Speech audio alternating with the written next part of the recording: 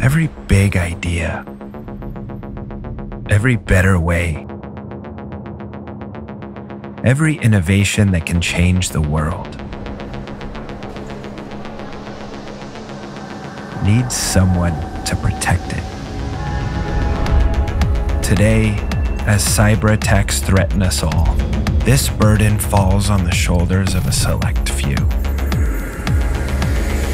The defenders.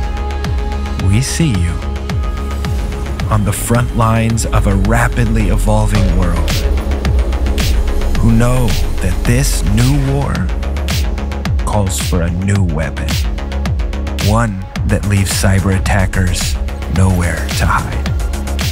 This is for the defenders. This is XDR.